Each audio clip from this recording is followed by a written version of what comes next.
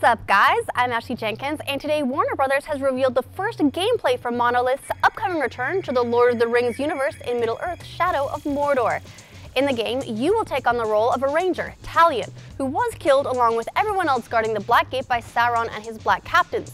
Unlike everyone else, you're kept back from the afterlife and you return as a half-human, half-wraith, with the ability to step into the Wraith world just as certain hobbits have done while wearing the One Ring. This particular ability will give you some unique advantages in battle, like being able to identify your main opponents and shadow stepping to teleport to your enemies. Wraith abilities will also allow you to twist the minds of enemies instead of slaughtering all of them if you choose. You can force them to act on your behalf, spying on your enemies or attempting to assassinate their leaders. And that opens up new missions for you too. There are also those enemies who get away from you, who escape, and who remember how to hold a serious grudge, becoming your own personal nemesis. Or nemesis, I guess, if you make a habit of letting dudes escape. They'll even retain the physical scars you've given them, like burn marks across their face if you stuck their head in a fire or something. The gameplay and combat both lean heavily on the open world, allowing you to traverse it to avoid or get the drop on your opponents, and using the world to your advantage will get you farther than barging into a fortress of enemies blind. The game doesn't have a release date yet, but it is expected sometime this year on PC, PS3, PS4, Xbox 360, and Xbox One. Next, Tomb Raider developer Crystal Dynamics has gone into detail on just how they're making Tomb Raider Definitive Edition Next Gen for its upcoming release on PS4 and Xbox One. Improvements to the game, which originally launched early last year for PC, PS3, and Xbox 360, include a fully remodeled Lara Croft with new textures and materials, support for TressFX hair physics, which allows each strand of hair to react individually to the environment, new dynamic skin lighting effects like subsurface light scattering, and physics simulation for her equipment so it jostled around in reaction to her movements and feels like a realistic part of the world.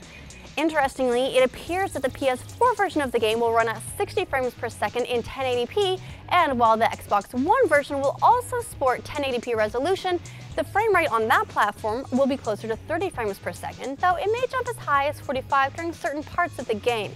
Publisher Square Enix doesn't believe the difference in frame rate will affect the gameplay experience in any way. They say, delivering the core Tomb Raider gameplay at native 1080p and running at 30 FPS was always our primary goal given the type of experience Tomb Raider is and the exploration we want players to do. Anything beyond 30 FPS for this version is gravy. Tomb Raider Definitive Edition will release on Xbox One and PlayStation 4 on January 28th. And last but not least, today Bethesda has revealed the voice cast for The Elder Scrolls Online, and even if you're not an MMO player, it's hard not to be impressed.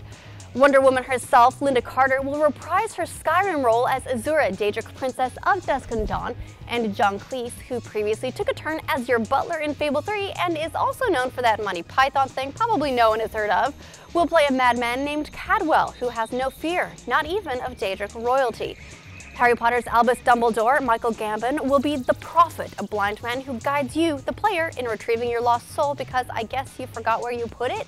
And Mass Effect's own Jennifer Hale will voice a Nord half-giant named Lyris Titanborn, who also helps you in that quest. Bill Nighy from pretty much everything British ever will voice a merchant prince whose success has put him on the throne, and Underworld's Kate Beckinsale will join him as royalty, playing Ayrenn, Queen of the High Elves and leader of the Aldmeri Dominion. Spider-Man 2's Doc Ock Alfred Molina is a politically minded old wizard named Abnur Tharn who leads the Empire's Elder Council. And stepping into the role of main antagonist is none other than a Clockwork Orange's Malcolm McDowell, who will voice Daedric Prince Molag Bal, who wants to pull all of Tamriel into his dominion. The Elder Scrolls Online will release on April 4th for PC and sometime in June for PlayStation 4 and Xbox One. And that is the news for today. Does 30 frames per second versus 60 frames per second matter to you when you're basking in 1080p? Let us know in the comments below. Then check out roosterteeth.com for a new episode of The Patch to see what we think of the latest news.